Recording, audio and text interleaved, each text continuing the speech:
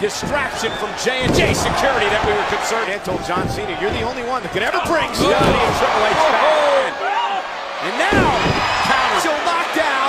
John Cena. Hey. Oh, how close was that? Cena. Cena. Cena. This is And John Cena back to his... John Cena. Hey, to the table. I know it. Everybody else knows it. Keep working over. Shield